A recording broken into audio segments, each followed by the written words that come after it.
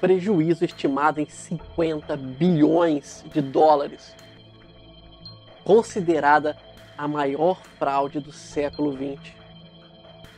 Você conhece o nome Carlo Ponzi e Charles Ponzi? Talvez você conheça a sua maior criação e a dor de cabeça de todo investidor que quer lucros altos e rápido, o esquema Ponzi.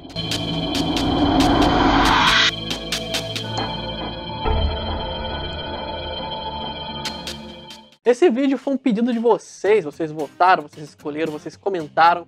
Então, estou trazendo hoje a origem do esquema Ponzi, sua história.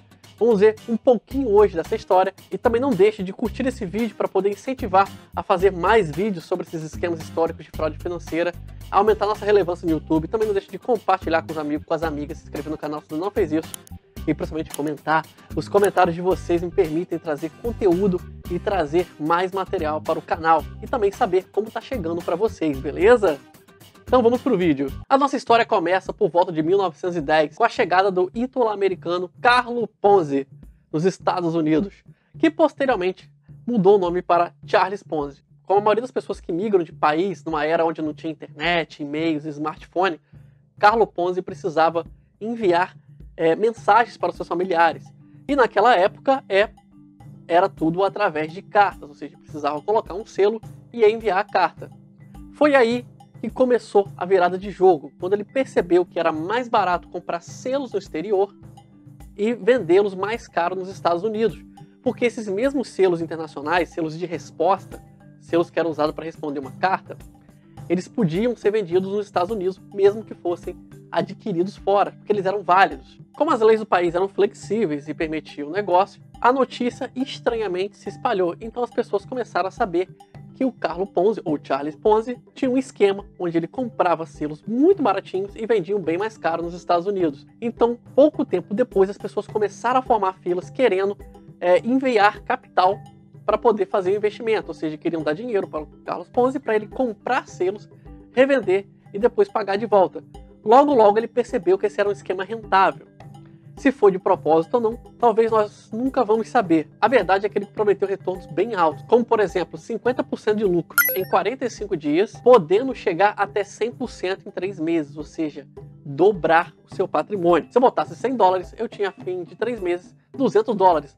Mais do que qualquer investimento da época e mais do que qualquer investimento hoje. Assustador, né? Você perderia um negócio desse? A oportunidade de dobrar tudo que você tem? O problema todo é que Charles Ponzi nunca comprou um selo sequer. Quando as pessoas começaram a fazer fila, ele percebeu que ele podia pagar o rendimento das pessoas com o dinheiro das pessoas que estavam entrando depois. Ou seja, as pessoas colocavam dinheiro para comprar o selo, ele não comprava selo nenhum, ficava com 100% do dinheiro e à medida que fossem entrando novas pessoas, ele, ele pegava parte daquele dinheiro e pagava as anteriores.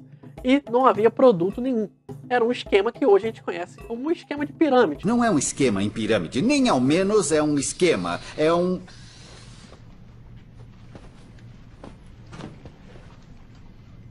Quando esse esquema começou, era fevereiro de 1920.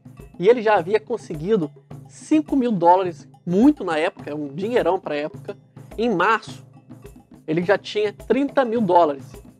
E em maio, esse valor já tinha pulado para 420 mil dólares. Era um aumento muito brutal. Em julho, seu patrimônio já estava em milhões.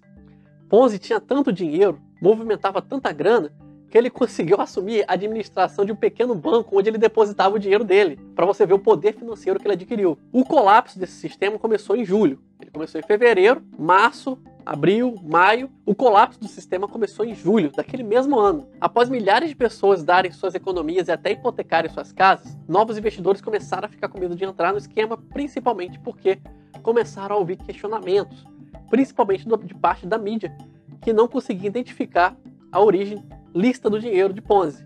Sem novos investidores, o que aconteceu? A bolha estourou. Não havia como pagar os antigos. Esse é o problema do esquema Ponzi, ou das pirâmides, ou das variações que você quiser chamar. Sempre que para de entrar novos investidores, você não tem um produto para agregar valor, ou seja, você não tem como repor aquele dinheiro. E não foi diferente dessa vez. Para tentar melhorar sua imagem, Ponzi ele chegou até a devolver parte do dinheiro E isso realmente fez ele ganhar grande popularidade entre as pessoas. Porém, anos depois, em uma entrevista, ele deu a entender que, na verdade, ele obteve esse dinheiro aplicando golpes também no Canadá. Então, Ponzi não era uma boa pessoa, ele estava apenas tentando fazer um marketing pessoal. Em agosto de 1920, ou seja, ainda naquele ano, Ponzi foi declarado falido.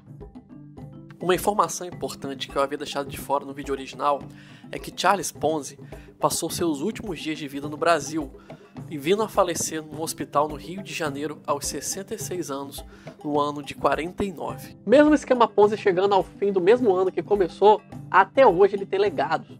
Ainda existem muitas pessoas aplicando exatamente o mesmo esquema. Você já viu o famoso arraste para cima para aprender a ganhar dinheiro rápido?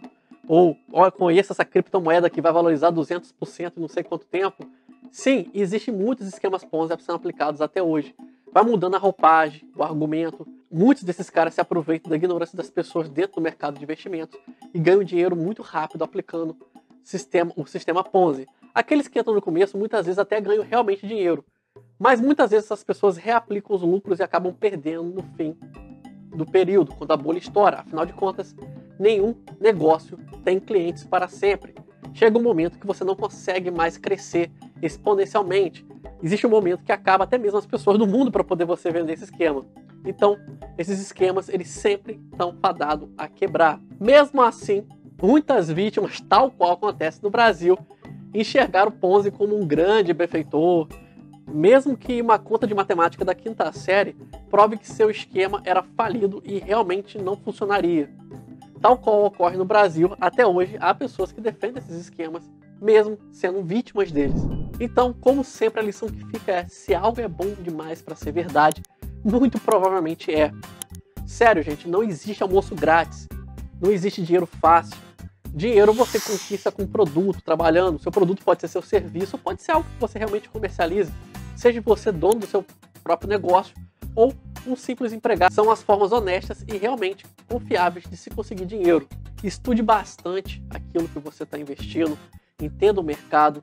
Investimento é algo paralelo, você precisa de trabalho para poder captar dinheiro. Nenhum investimento substitui seu trabalho no curto prazo.